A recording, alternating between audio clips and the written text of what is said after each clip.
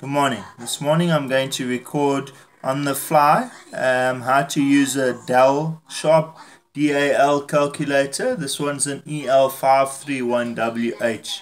As you can see I've got my data set at the top there 0, 1, 2, 3, 4.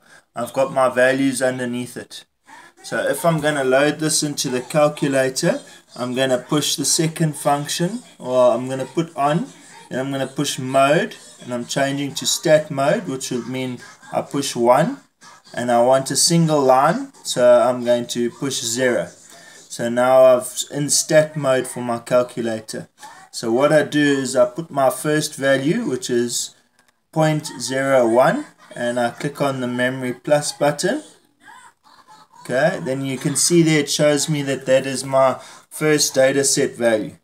Then I push um, 0.2 and I go memory plus and that shows me my second data set value. Then I push 0.5 and memory plus and that's my third one. And I push 0.15 memory plus that's my fourth one. And I push 0.05 memory plus that is my fifth one. Okay now you'll see there's a recall button and all I do is I push this RCL button and I push the number 4 because that is the X. And that's what gives me my answer of 0.12 I hope this helps you and good luck with your exam prep. Thank you for watching. Goodbye